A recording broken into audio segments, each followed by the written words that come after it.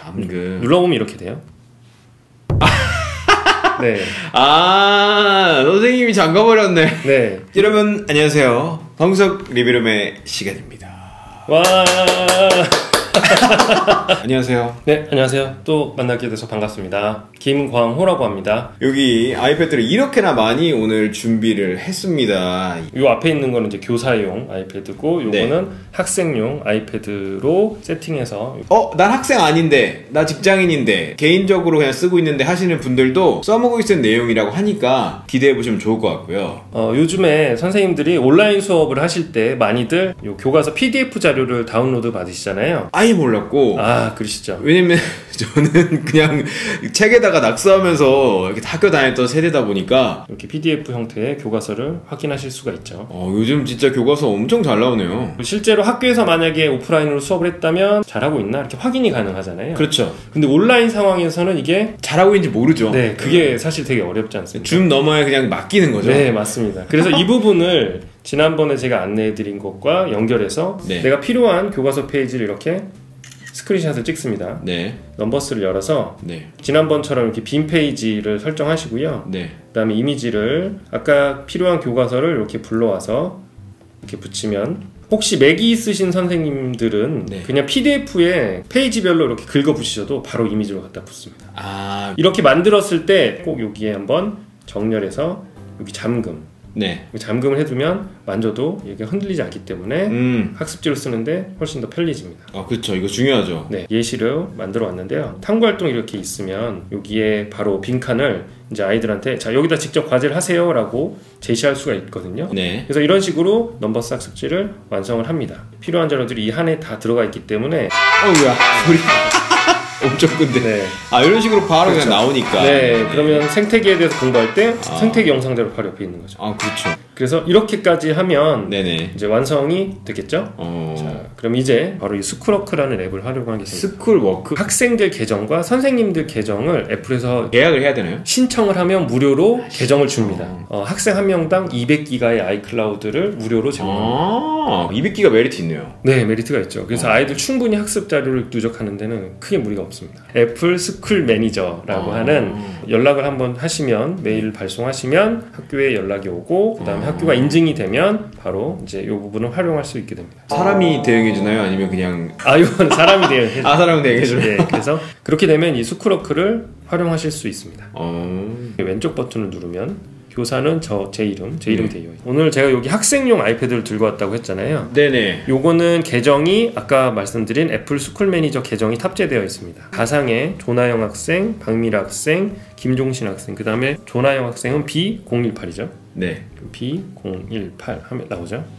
원래 우리가 아이패드 사면 이런 거 없잖아요. 요거는 학교에서 아이패드를 구매하고 아, 요즘에 학교에서 나눠주는 아이패드는. 이렇게 돼 있어요? 네, 요 계정은 학교에서 아이패드를 구매하고 세팅하는 과정에서 이제 준비가 되는 겁니다. 이런 아. 식으로 나머지 학생도 등록을 하면 그러면 제가 학습지를 두 개를 이렇게 만들어 놨잖아요. 음. 과제를 생성할 때 지금 보시면 요 수업 안에 이렇게 세 명의 학생이 들어있죠. 아, 네네. 그다음에 마감일을 오늘은 설정 안 하겠습니다. 그다음에 여기 파일을 넣는 거죠. 어. 그 아까 보여드린 요 파일을 이렇게 넣고 네. 여기서 되게 중요한데요. 지금 파일을 올렸을 때 요 느낌표 보이시죠? 네. 바로 이게 되게 중요한 포인트인데 이 느낌표를 눌러보시면 바로 이겁니다. 이 한 명 한 명 한 명이 똑같이 이 Numbers 파일을 저와 각각 공동 작업으로 배당받게 됩니다. 음. 그런데 요 밑에 보이시나요? 학생이 같은 파일을 함께 공동 작업할 수 있어요. 네. 이렇게 되면 하나의 파일을 요 세 명의 학생이 저와 함께 공동 작업으로 쓰는 겁니다. 아. 그러니까 첫 번째 메뉴는 개인 학습지를 쓸 때 좋고요. 음. 두 번째 메뉴는 이 세 명이 모두 학습을 할 때. 여기 보시면 개인 학습지는 요세 명의 학생이 이렇게 각각 돼 있죠. 어. 그래서 이 학생별로 상황을 제가 체크할 수 있는 겁니다. 어. 그리고 제가 모둠 학습지는 두 학생으로 지정을 해놨는데 이 두 학생하고 저하고 이렇게 함께 한 파일을 공유하는 겁니다. 아, 이렇게 보니까 확실히 개념이 좀 오네요. 네네네. 자 그럼 이제 수업을 실제로 진행할 때 교실 앱이라는 걸 쓰게 됩니다. 아, 교실에. 네, 이렇게 나오잖아요. 그러면은 어, 네. 학생별로 지금 뭘, 뭐 어떤 화면이다, 아. 설정 화면이다 이렇게 나온 거고요. 아, 지금 설정 화면을 띄워놨다는 네. 거를 지금 알 수 있는 거군요. 그렇죠. 그리고 화면을 누르면 네. 이새 학생의 아이패드 화면이 보입니다. 아, 지금 띄워놓은 걸 볼 수 있어요? 네. 지금 딴 짓을 하고 있으면 딴짓 하는 게 보인다? 네, 맞습니다. 이게 이게 아. 엄청 중요하거든요. 왜 한번 이렇게 홈화면으로 가볼까요? 네. 바뀌죠. 아 바로 바뀌네? 네. 아, 바뀌고 어 재밌다. 이것도 바뀌죠. 음악 듣고 있다. 네. 네, 보이죠. 그러면- 하고 있는 게. 아 이게 바로 나오는구나. 네. 아, 썸네일 형태로. 네.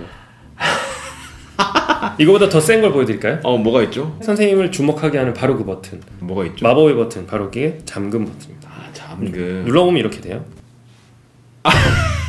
네, 아 선생님이 잠가버렸네. 네. 요렇게 되는 순간 방금 방구성님의 반응과 같은 반응이 납니다. 애들이 아. 어, 뭐야?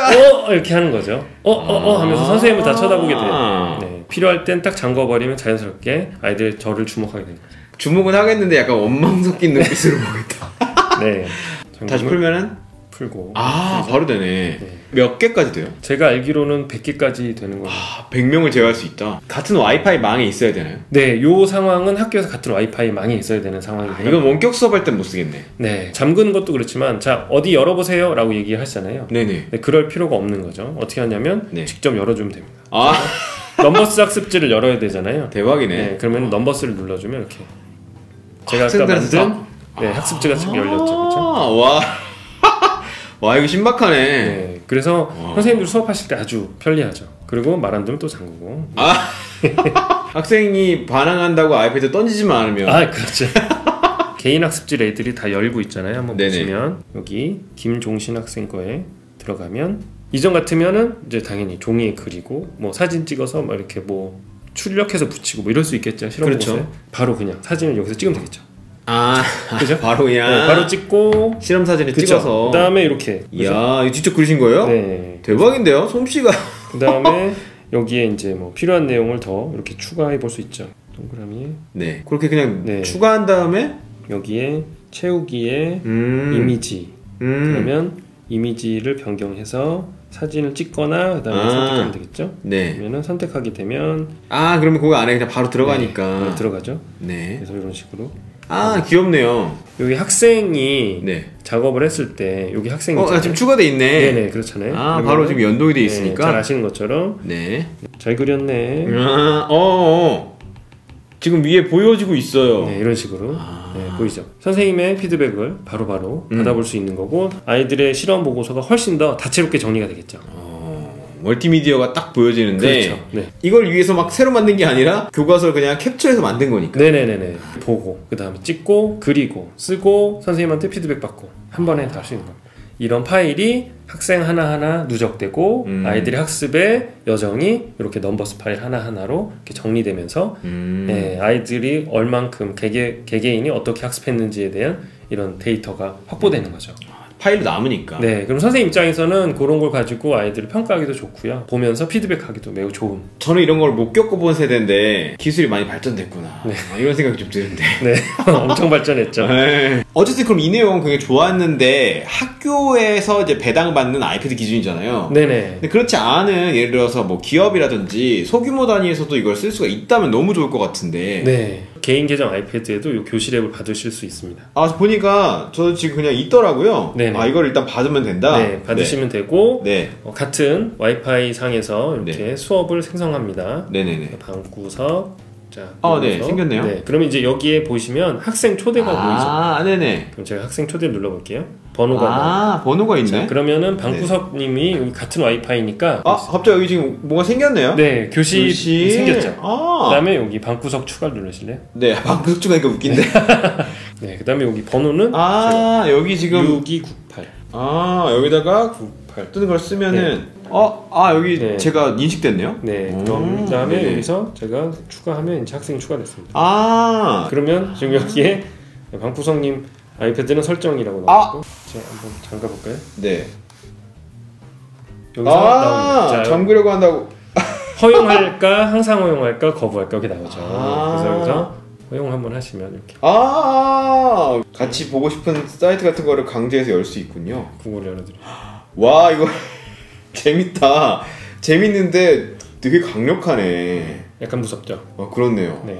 만약에 뭐 작은 기관이나 이런 데서 아이패드가 네. 여러 여러 대를 한 번에 쓰실 때는 한번 활용해 보실만 할 것 같습니다. 뭔가 공용으로 쓸 때 유용하겠네요. 네, 그 관리자 계정인 사람만 앱을 깔면 된다. 네, 네, 네. 알겠습니다. 그래서 참여하는 사람은 앱은 필요 없습니다. 애플 홈페이지 가시면 이렇게 뭐 신제품이 나와 있지만 저는 항상 이런 것만 보는데. 네. 근데 실제로 쭉 밑으로 가세요. 애플과 교육이라고 아, 있어요. 네네. 그래서 여기 애플과 교육에 들어가시면 재밌는 자료들이 많이 있습니다. 어, 어떤 식으로 하야 되는지 참고 자료들이 있고. 네네네. 실제로 여기 보시면 교사용 resource 이렇게 아, 있는데요. 교사용 resource? 네, 저도 여기에 애플 우수 교육자 프로그램, 애플 아, 교육자. educator, 네, 아. Apple Distinguished Educator 이 활동을 저도 하고 있고요. 생각보다 전 세계 되게 많은 아. 2,500명 좀 넘는 분들이 함께 활동을 하면서 어.